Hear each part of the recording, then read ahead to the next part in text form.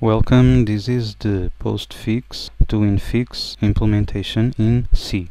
And the algorithm definition is this. For each symbol we read the symbol, if it is a operand we push onto the stack, if it is an operator we pop the two top expressions from the, the stack and if the expressions have a main operator that has a lower precedence than the operator being combined, we add parentheses. We form a new string with these two expressions and the operator and then we push onto the stack. Finally, when we reach the end of the input postfix expression, the value in the stack is our infix expression, it is the final expression. Since we use a stack, first let's see how I have the stack implemented for you to understand how it works.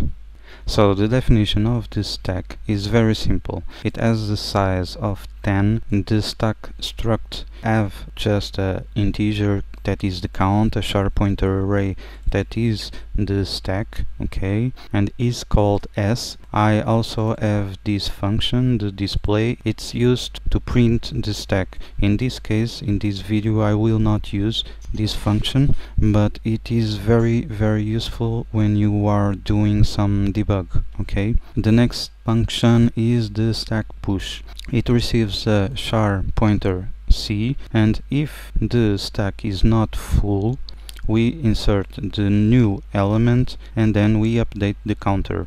The next is the stack pop. It returns a char pointer and here is the definition. If the stack is not empty we decrease the counter and then we get the element and return and the stack is empty just checks if the counter is equals to zero okay now we can move forward to the implementation. The first thing to do is iterate for each symbol of the postfix expression. I already have this function defined, void toInfix char pointer expression. Expression is the postfix expression, okay? It will have a char pointer that is the result and we will print f result. So here we will iterate for each symbol in the expression. For int i equals 0, while the expression at i is different from end of string, we increment the i like this. So the first part is already done for each symbol. Next, we will read the symbol. So to read the symbol, in this case, since we have a stack of char pointers, we need to do a little trick. We need to have a char pointer cp char pointer malloc size of char and we will say that the char pointer cp at position 0 is equals to the expression at position i just this the next thing to do is check if it is a operand. If it is, we push onto the stack.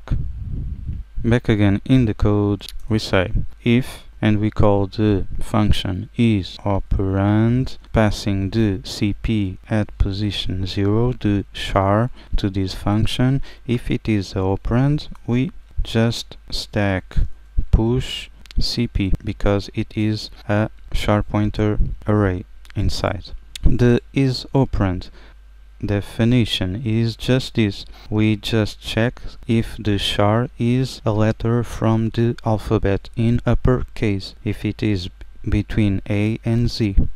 This part is already done. The next part is the else part, where the symbol is a operator.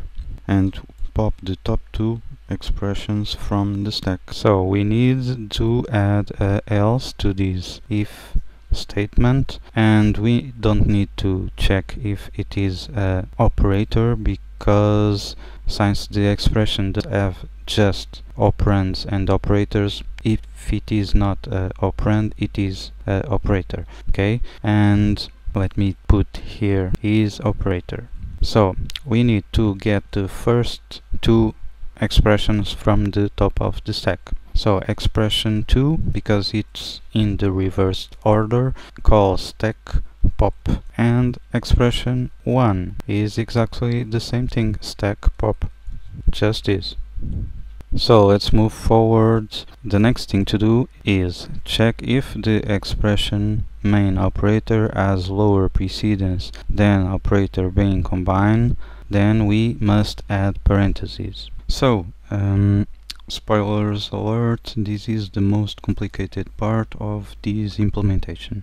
First we need to get the operator precedence that is equals to get precedence of CP at position 0, the char that we have at this position. And get precedence is a function that I already have this function and what it does.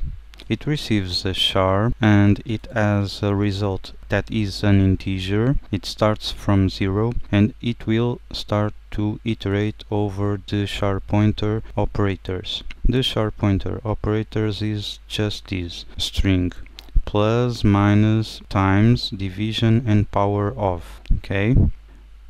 For each symbol it will increment the result and when it finds the symbol it breaks the loop and then returns. So if it is a plus it will be 1 minus 2 times 3 division 4 and power of is 5 but since the precedence of plus and minus is the same and times division is the same we have to check this. If it is a minus or if it is a division it will decrease the number okay? So the final result will be 1 for plus and minus 2 for times and division and 3 for power of okay?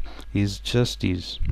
Back again to what we were doing. The next thing to do is get the precedence number of the expression okay? The lowest precedence. We define an integer that is the lowest precedence in expression 2 and we call the function get lowest precedence in main operator of expression 2 and this function is not done yet. I will do next the same thing for the expression 1 after this we can compare the lowest precedence expression 2 with the operator precedence. So we do if lowest precedence expression 2 is lower than the operator precedence we will add parentheses to the expression 2 so we call the function concat char pointer and we pass a left parenthesis, the expression 2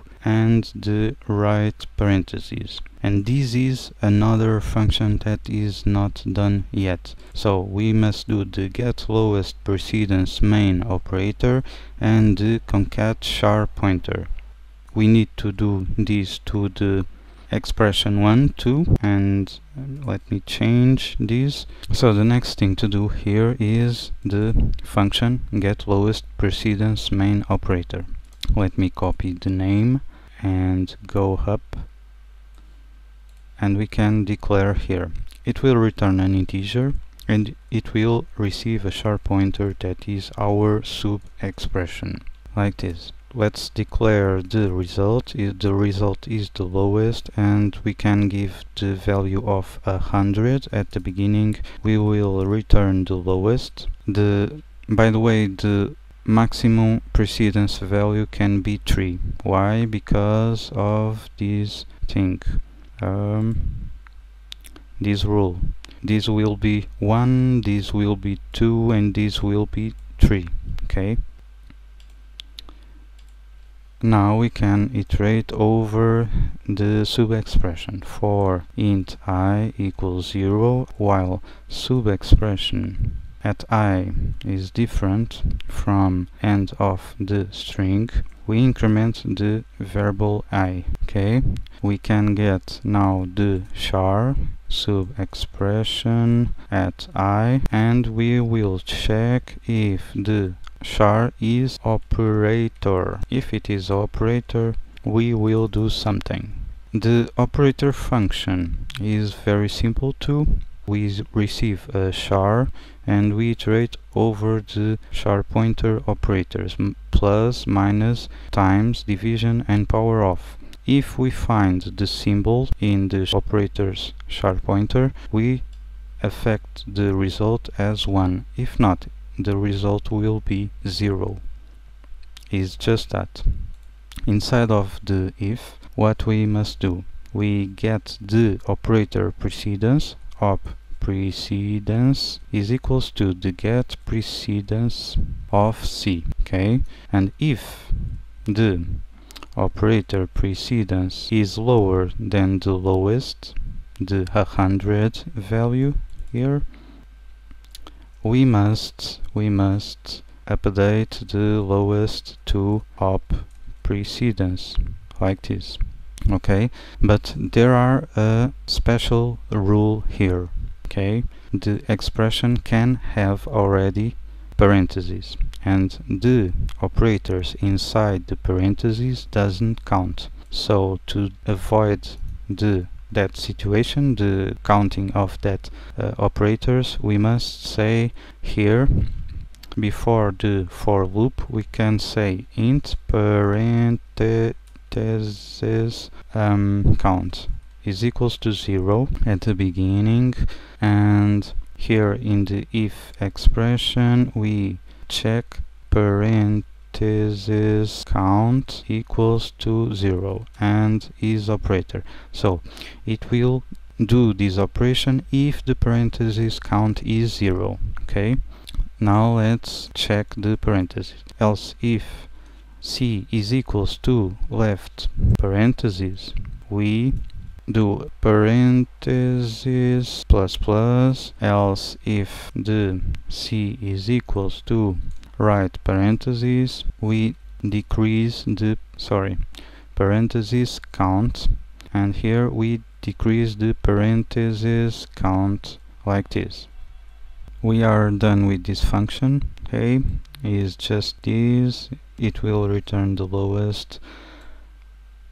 So let me decrease here.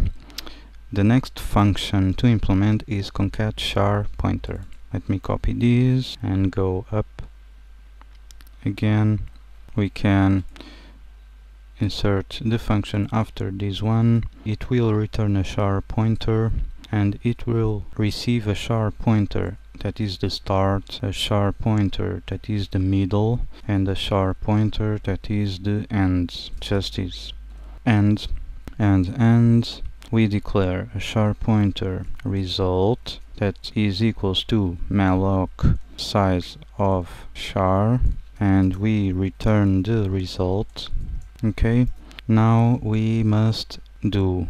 We declare an integer that is the index of the result char pointer and we iterate over each char pointers that we received as the parameters. So for int i equals to 0 start i different from end of string increment i and we say that the result at index plus plus is equals to start i. And this is this code is exactly the same thing for the other two char pointers okay? Let me paste here and copy the end and paste here just this. At the end, we say, we must say that the result at the index, and now we don't need to increment the, the index, is the end of string. Okay? Just this. So, the next thing to do is form a new string with the two expressions and the operator. Here in the code, since we have already these concat char pointers done, we can just do we can just do declare a char pointer that is the new expression and call the function concat char pointer passing the expression 1 the cp and the expression 2 just this. Next step is push the result string onto the stack. So in the code we do stack we call the function stack push the new expression. Just this. Okay going forwards we have to finally we have the value in the stack. That is our infix expression. So now we must go here at the end and say that the result is equals to stack pop. And this is our infix expression. And then we print. So before testing this let me show you the main I have a main function here that I have this integer that is test. If test is 0 it will ask you to input your expression okay and then it will call the to infix expression. If it is 1 I have this array of expressions already is postfix expressions this is the result infix expressions okay and it will iterate the uh, expressions array and it will call the function to infix. So let me copy this go to the REPL and paste and run and the guy says that we have a bug. To infix at 174 warning implicit declaration of function 174 we go on 7.4 and I misspelled the get precedence is get precedence like this. Let me change in the code. 174 like this. Go again to the REPL run and everything is running. Let me show here. This is the expressions the first one. A plus ab plus C division. Results in left parentheses A plus B right parentheses division C. Let's see the last one. The last one AB minus C D E F division plus G minus times minus H minus. It will be A minus B minus C times left parentheses D plus E division F minus G right parentheses minus h. So this is the end and as always thanks for watching